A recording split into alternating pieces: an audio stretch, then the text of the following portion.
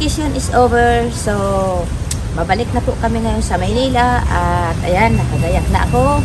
Ready na po kami pumunta ng airport ngayon. At finally, at tumila rin po yung ulan. Dahil kanina po malakas ang ulan pero may bagyo pong paparating. Kaya medyo uwing-uwi na po kami bago kami abutan ng bagyo. So, ayan guys, ah, samahan nyo kami sa aming paglalakbay. At nandito kaming lahat ngayon sama-sama sa aming pag-uwi. Kaya, see you na lang later. Pupunta na kami ng airport. Okay? So, tara!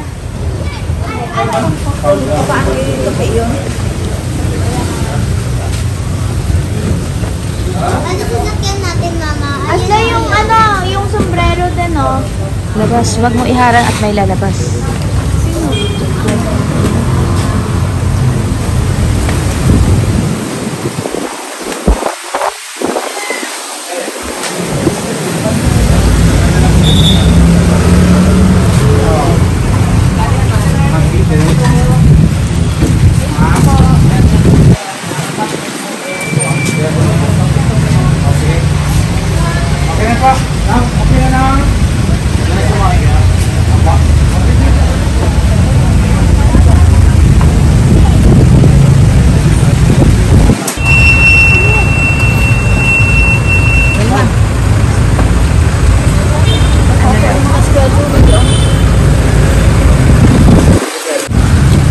Diretso po, diretso. Uh,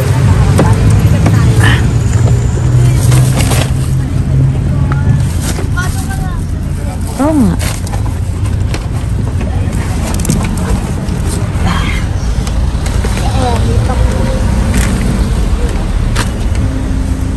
ilan na po? Hala ko yun. Makakalukuhan. Oh, naiwanan ko si Iwan. May iwan na daw siya. Mas gusto na niya dito sa Boracay. Saan?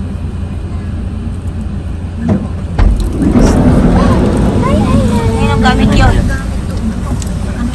Ah, Hindi ba pa kailawin ma? Yan sila dalawa. Sino? Nakaharang tayong ano, yung, yung para Ha? Hindi pala sila makasakay. Ay, kay dito. Ay,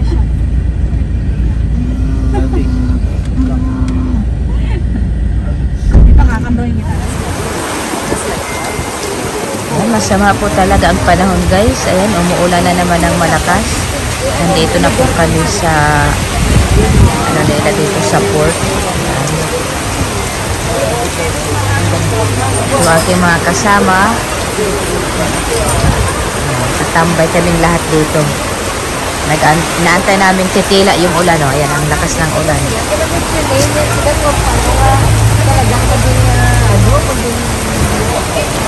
mag ako sa white house dress to stage pa lang diba? tayo ang bayo wala mo wala sa niya sa ngayon magahi ah maglakas oh pag naman rin sila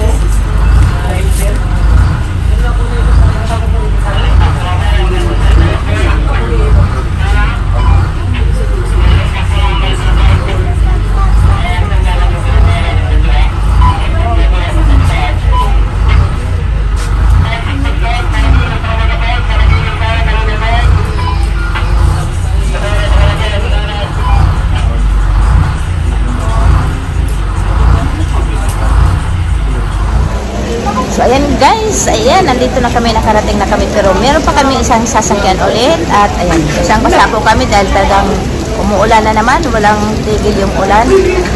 Yan, kawawa naman. May kasama kami baby dyan. Yan yung baby namin. Ayan yung baby namin. Oh, ayan. Kawawa naman yung baby namin. Dahil walang tigil ang ulan. Ayan. Kung nakikita nyo, ayan oh, ulan pa rin. At, ayan, magandang experience po namin talaga kanina. Maalon po talaga sa dagat guys. Napakaalon. Kaya, isa ko sa mga kasama, natakot po yung pamangkin ko. Dahil tumagilid po yung, ano, yung boat na sinakyan namin. So, ayan lang guys. Uh, share ko lang sa inyo yung mga magaganda namin mga experience. Yan, lipat na po kami at umuwi na kami sa amin. Service ulit. Ayan. Na naman kami doon.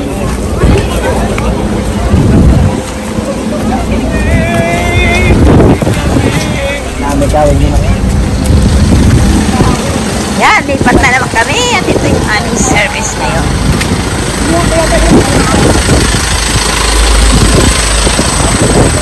Nilagay mo na yung bayad sa ano, bigay? Binigyan na? Di Prata, tingnan mo. Tanong mo. Tanong mo lang si Lina, tanong mo lang. Tanong mo kay Pati. Helicopter.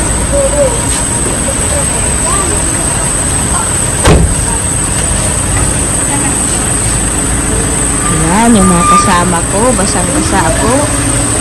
Hanggang dito sa airport, ulan. Ayan, ulan dito, ulan doon.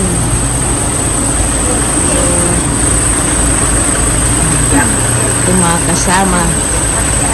Ayan, basang-basa sa Kuya Johnny. Aking sisterit, ayan, basang-basa si Lina. Parang basang sisiw lang guys.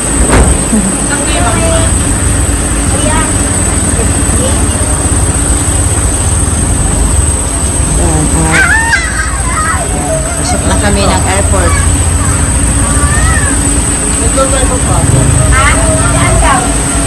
Ay, kuya! Hindi ka nasasama sa loob? Ay, hindi na. Dito ka na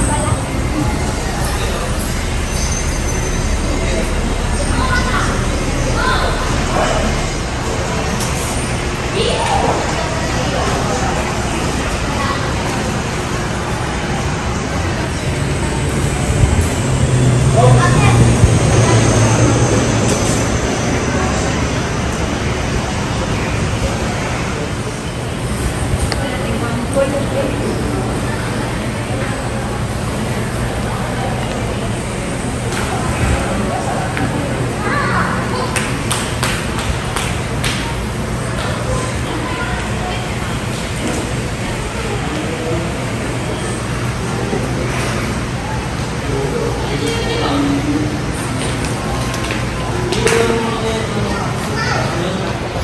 guys, nandito na kami ngayon sa airport, Katiklan Airport. Ayan, waiting na po kami sa aming boarding. Uh, waiting po kami ng mga 2 hours. At syempre, wala kaming magawa dito, kundi nag-aantay. Yeah, so, bali, mga 9, 9 o'clock, 9 o'clock pa po ang aming alis. So, mga kasama ko ay nagsipag-order pa sila ng food at magde-dinner muna kami rin sila lang pa ako kasali so ayun lang guys. At nakita nyo naman po talagang napaka unforgettable experience itong nangyari sa amin dito. So I'm not sure kung kabalik pa ako dito sa Boracay na to kasi napakahirap po ang biyahe lalo na natapat kami sa natapat kami sa tag-ulan So, mga kasama ko, ayan, basa-basa sila kanina. Ayan, hindi naman basa-basa, basta nabasa sila kanina. At nagpalit na lang sila ng damit nila dahil kanina, inulan po kami. At napakahirap pala yung daanan. Napakahirap yung daanan kasi tatlong beses ka, ah, tatlong beses ka magpalit-palit ng, ano, ng sakayan. Yan, dalawang beses ko sa bangka. So, mahirap. So, ang masasabi ko lang po ay talagang napaka-unforgettable ng experience namin dito at siyempre first time ko po camping sa lugar na to kaya talagang napaka-unforgettable. So, yun lang ang masasabi ko. Ah, pero lang hindi po kami lalo na sa mga activities na ginagawa namin. Ay, nag-enjoy po kami po. Yun ay mga unforgettable experience din. So, ayan, ah, medyo hindi ko alam kung kailan ulit ako makakabalik sa lugar na to. So, maybe next time, ah, another place naman ang pupuntahan namin. Ayan. So, pag ikumpara ko naman sa ibang lugar na napuntahan ko, halos the same lang. Pag sa ibang bansa, alam mo naman, talagang doon, magaganda rin naman ang mga beaches nila. Kakaiba rin rin kasi. Um, yun lang ang masasabi ko. Um, see you na lang guys. Pagdating ko bahay. At medyo may may ng country. Mag-board na rin kami. Okay? So, yun ang message ko sa inyo. See you later.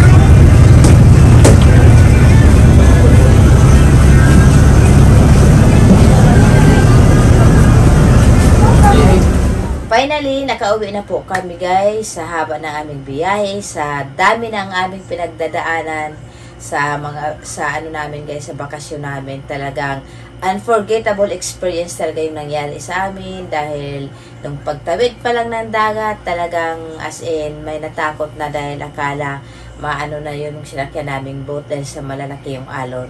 Tapos plus ayan dahil ako rin di ako sanay sumakay ng maliit na airplane, yung ano tawag doon, propeller ba, yung gan- ganon, yun ang sinakyan po namin, hindi rin ako sanay sa ganon sumakay, kaya tapos ang lakas ng bump talaga, ayun, mga kasama ko rin, pareho sila natakot, lahat sila natakot, pero ako dinaan ko lang sa tawa dahil, alam yun, alam nyo na, kumbaga nasanay na ako sa ganon, pero talagang kakaiba pa rin yung experience. Marami po akong experience na nangyari sa bakasyon ko na to sa aming pag-travel sa Boracay. Marami pa akong experience. So, yun lang guys. Sana nag-enjoy rin po kayo sa aking mga video. At sana huwag kayong magsawa sa mga video ko. Okay? So, yun lang ang masasabi ko. Maraming maraming salamat po sa inyong lahat at abangan nyo ang mga susunod ko pang video.